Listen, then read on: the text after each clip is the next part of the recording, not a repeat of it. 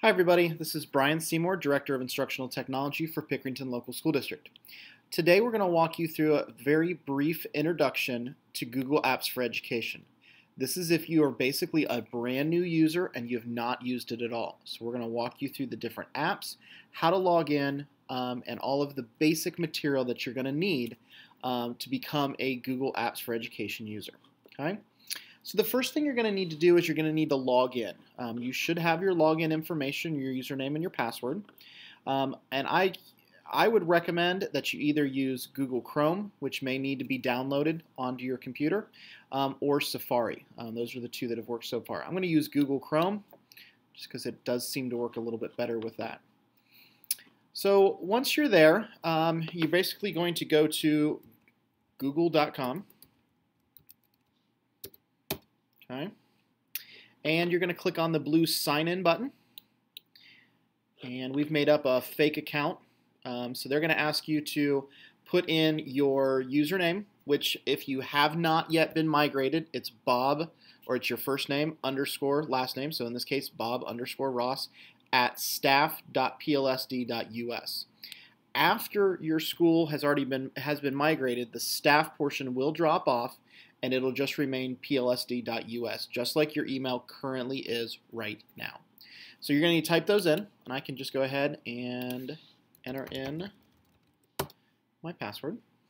And here I am now. This is the main Google page. You've probably used this numerous times, but you notice up here in this upper corner, some more um, individualized, personalized um, icons have shown up here. All right, so to run through these real quick, um, this, where it says plus you, is the new Google um, Google Plus, which is kind of their social media side of things. It does have a lot of benefits that we're going to talk about a little bit later. Here's how to get into your mail. Here's how to get into an image search. This little button here will then drop down all of your different apps. And then this here will drop down into your account information and you can see a couple different pieces. Okay. So the first thing that I want you, would like you to do is as you send messages to people, you can actually include a picture um, of what it, of, of, you so that people know who's sending the messages back and forth. It also works works really good in Google Hangouts and so on. So to do that, you're going to start out in Mail. And if you've never used it, this is what you're going to see when you first open up your mail. Now, this part down here is where I really want you to um, get some, some things done right off the bat. So you're going to go here to where it says set a signature. And click on set a signature. And this right here now is actually going to have you set your signature. So I would say Bob Ross. And of course we know that Bob Ross should probably be an art teacher. So we'll say he's an art teacher at Pickerington High School Central. And we could put down that Bob's email address, whatever it is that you want in your signature line. Okay, it's exactly like what we've done in the past. Okay. The other part, as you scroll down through here, there are quite a few pieces and parts that you might want to take a look at, you might not want to take a look at. Most of these we've set for you already for what we consider would be a standard default, uh, but if you want to make any changes, you're more than welcome to. So scroll all the way down, make changes. Okay. The next thing I'd like you to do is then add a picture of yourself. So change profile image. And we found a picture here of, of Bob Ross. So we're going to drag that picture over here. And then it's going to ask you to crop that picture. So you can just slide this right over. You can make this bigger or smaller, however it is that you want. But we'd like a picture of everybody's face on there so that way we can know who's sending messages, who's talking to us, who's chatting with us, so on and so forth. And we can make that one your profile picture. Okay.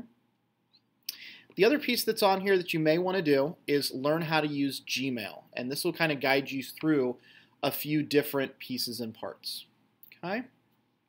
So our next part is we're then going to go back to Google. Okay. And you've got all of these pieces and parts back up here again. Okay. So now we're going to click on your name, and then you're going to see this blue box here that says Join Google Plus. Well, I would recommend that everybody go ahead and join Google Plus. Okay. And basically what this is going to ask you then to do is set up your birth date, so on and so forth. People will not be able to see this, so I'm not sure when Bob Ross was born, but I'm just going to make something up.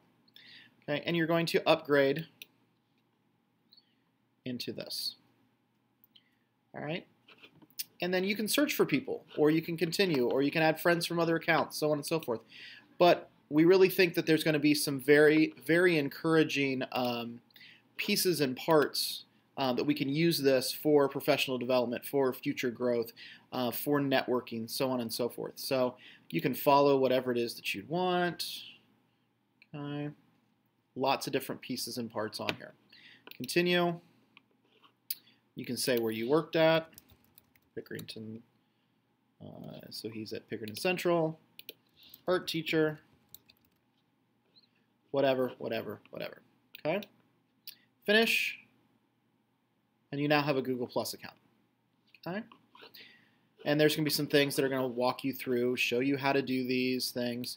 But basically what it is, is if I expand this a little bit here, you can start to see that there are different news items that are of interest to you depending on what it is that you said you want to be in your circle. So if later on, if you want to add something to this, um, you can just go up here and search art. Um, so you can see artists in the plus, artist network. So if I wanted to join artist network, I could go to here and I could click on follow and then it pops this up. Is this person just somebody I want to follow? Is this friends, family, acquaintances? Connect with Google, education. So I'm just going to click on following and voila, I'm now following that. So if I were to go back to my home profile, I now am going to get some things that are on here from artists. So like I said, depends on how you want to do it and how you want to set it up because it is personalized for you. Okay. The other thing I'd like to talk about is this little button here. This is incredibly important. These are all of your different apps that you are going to have. So you can see we have Google Plus, Google Search, Gmail, Drive, Calendar, Sites, which is where you can actually make some websites, Google Groups, and Google Contacts. And yes, there is a way to take your personal contacts out of First Class and put them directly into this your contacts for Google. So you won't have to retype all those people back in. If you click on more, there's more, Google Maps, um, YouTube, you could set up your own YouTube channel, news, and so on and so forth. And then there is a way to get even more apps uh, from Google. There are two additional um, apps that I would like you to get that you kind of have to go in a different way to get those. The first one is Google Classroom. It's very it's very simple to use. It's an LMS, a learning management system, kind of like Blackboard but stripped down with some of the functionality. And to get to there, all you have to do is type in classroom.google.com. So classroom.google.com. And when you get to this page, it's going to say you are signed in as, make sure you're signed in as you. And then I would like to get started with Google Classroom. I am a student or I am a teacher. So if I'm a teacher, I click on teacher. And now I am in Google Classroom and I am now ready to set this up. So if I was ready to do my first class, I can hit create class. We could call this one art survey. And this is section number one, create. and I've now created my very first classroom and I am now in Google Classroom. There's going to be more sessions on Google Classroom, so we're going to kind of leave it at that as the introduction. Um, so the other one that I would like for you to get is we're going to go back to Google.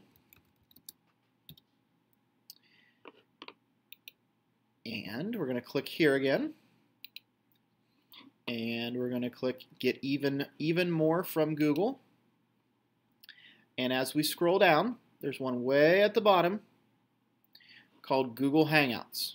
What Google Hangouts allows you to do is to have text, voice, and video chats amongst anybody inside of the domain. So for example, if you are an art teacher, let's say Bob Ross here, and I wanted at Central and I wanted to have a communication with an art teacher over at North, I could be able to do that through Google Hangouts. I can share documents through Google Hangouts. I can do uh, video, voice, and text chats. So to do that, you just click on uh, Hangouts and click on Get Hangouts. And then you want to do it, for this case, if you're on a computer, on a computer. If you want to do iPhone, iPad, iPod, those are on there as well. So computers. I'm going to add this. It's completely free. And I've now added it to Chrome. In this case, I've now added it here. So to start a new Hangout, all I would do then is type in a person's name. And let's say I wanted to chat with, with myself, I guess, here in this case. Um, then I could do that, um, like I said, via um, text, video, or audio. And we'll show you how to do that a little bit more later on. So basically, in a nutshell, that is the basic introduction to Google.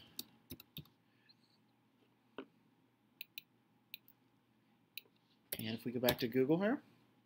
So once again, you've got Google Plus, you've got Mail, you've got Image Search, you have all of your apps that you would like to use. You also will see we've got a new piece that's popped up here now. These are notifications. So this will be notifications of what's come through, uh, mostly on Google+. Plus. Uh, but as that comes up, that will then show you the new the new items that are available for you. This here is to is also with Google Plus that can give you some information. And then here is what your picture would look like as it goes out to other people through email, through text, so on and so forth. Okay? So, I hope you enjoyed the introduction to Google uh, Apps for Education, and I uh, hope you get starting to use things um, as we uh, roll through uh, this transition. Thank you very much.